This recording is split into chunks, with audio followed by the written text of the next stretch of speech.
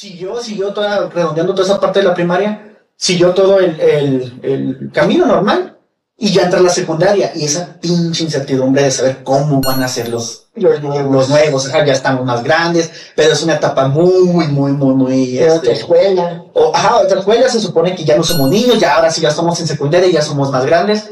Entonces, eh, de- esa, esa incertidumbre que sientes, ¿no? Al, al, al cambiar de escuela. Entonces, ahí, este, no. Si me, tú me preguntas, ¿qué etapa fue la más difícil? Definitivamente yo te digo la secundaria.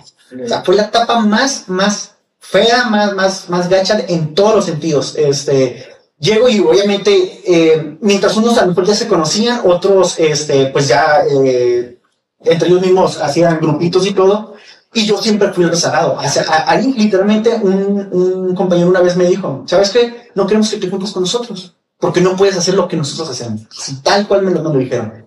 Y no es como que yo ya inmediatamente me voy a ir, no o sea, tratas, tratas de, de asimilar lo que te están diciendo y que si estoy en segundo, no, en primera secundaria, vale, así va a ser todo el resto de, de la secundaria. Pues sí, sí, sí me quedaba como que ya esto es lo que me espera. Ya ni, ya, ya, ya ni modo, ¿no? Este, una vez, por ejemplo, en, en esa secundaria se usaba mucho eh, hacer proyecto técnico.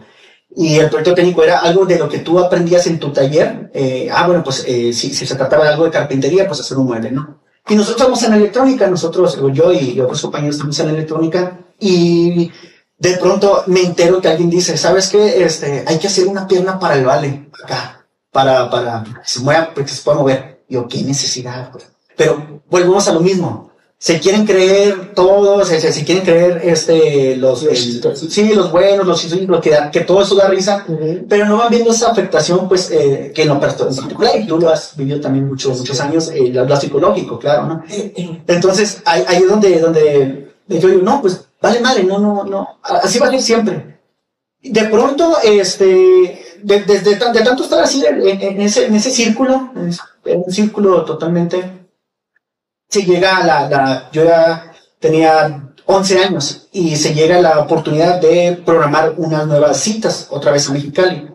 Eh, ¿Por qué? Porque como ya estoy creciendo, ya mi cuerpo, mi estatura definitivamente no era acorde, No es proporcional. no era proporcional a mi, a, a la- a mi tronco, a, a- ya a mi cara, nada, nada, nada, ¿no? Entonces eh, se empieza a tomar la, la, la decisión de que, ¿sabes qué? Pues vamos a amputar la otra pierna. Y me empezaron a decir, mira, las ventajas de, de que te ampute ahorita es de que eh, vas a empezar a fortalecer más rápido tu muñón, este, vas a, va- ya vas a tener tu tamaño no- normal, el que deberías tener, ese ya lo vas a tener. Y este, y mira, le dijeron a mi papá, si no es ahorita, va a ser a los 18 años. Porque definitivamente ni modo que sea un adulto de 30, 40 años y tenga ese tamaño todavía. ¿Para qué? Mejor, lo difícil ya lo hicieron, continuemos con la última etapa. Ahí sí mi papá me dijo, yo tomé la decisión en la primera, toma tú la decisión en esta.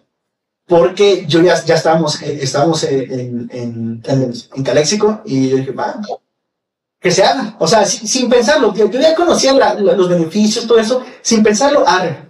Sí, ya tenemos una, una de, de decisión. Sí, exacto. Y este, y tomando en cuenta que es, a mí lo que, lo que más me intrigaba era el tamaño que iba a tener, la altura. Dije, no manches, entonces ahora sí, este, ya, ya, hasta por vanidad, si, si lo queremos ver así, ¿no? Este, incluso ya habíamos programado ya la, la cita otra vez de la cirugía en, en, en Los Ángeles. Y me acuerdo muy bien la escena porque está, está, mi, está mi papá enfrente de la, de la cama, a pie de cama, y yo estoy, yo estoy acostado. Llegan el cirujano y, lo- y los demás doctores, explican lo que van a hacer, y este, se van. Y mi papá me dice, ah, bueno, porque empie- empiezo a, oye, que empiezo a divagar preguntando otras cosas.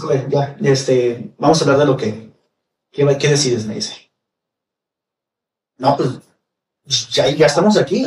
Porque si yo decía en ese momento, eh, quiero la, operación, al siguiente día me programaban la cirugía. Y si decía que no, al siguiente día programaban, pero el regreso. Entonces, listo, va, eh, eh, sí, cirugía completamente, no la pensé mucho, ¿para qué?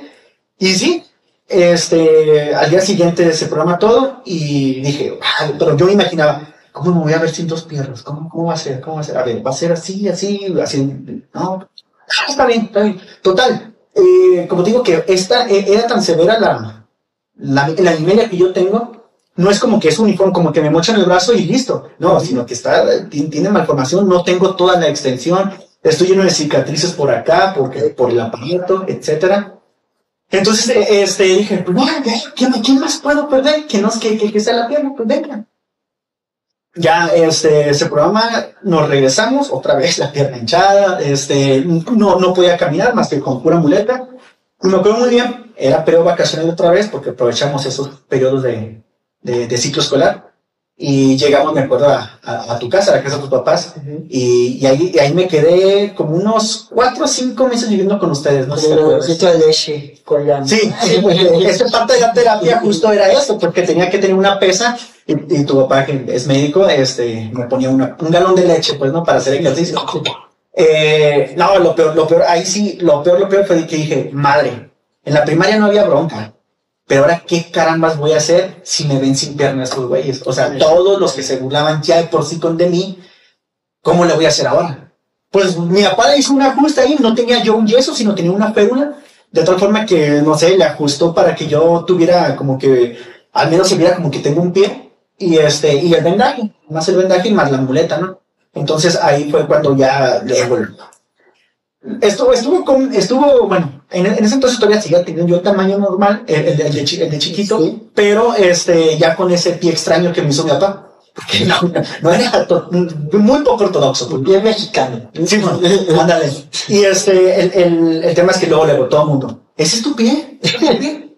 Pues sí, qué, extraño. ¿Pero qué te pasó? Que no, pues un resguince. No, pues que es que pisé mal y saca. O sea, tenía que estar inventando eso y tenía que acordarme de la mentira para decirle a todos los demás exactamente qué me había En lo que quedaba la prótesis. Sí, ajá, en lo que me hacían el molde. Luego en lo que quedaba la prótesis y luego en lo que ya iba yo por ella, ¿no? Entonces iban a pasar como cinco meses. Eh, todo eso sí fue que. Es que estuvo. Aparte, en, en esos. En, hay, hubo episodios donde yo estando en muletas. A mí no me querían en secundaria, o sea, los, los, de, los de mi salón no me querían. Y. eh, eh, era. Llegaba hasta un abuso. O sea, de por sí yo tenía que lidiar con el demonio del pánico escénico, con el demonio de que otro día más, a ver qué me espera en la, escuela. Tenía que lidiar con que sí realmente, eh, así la pongo. Una vez, no sé, de la nada, de la nada, yo estaba, estábamos esperando que llegara el profesor y yo estaba en un barandal, me recargado con las muletas, ¿no?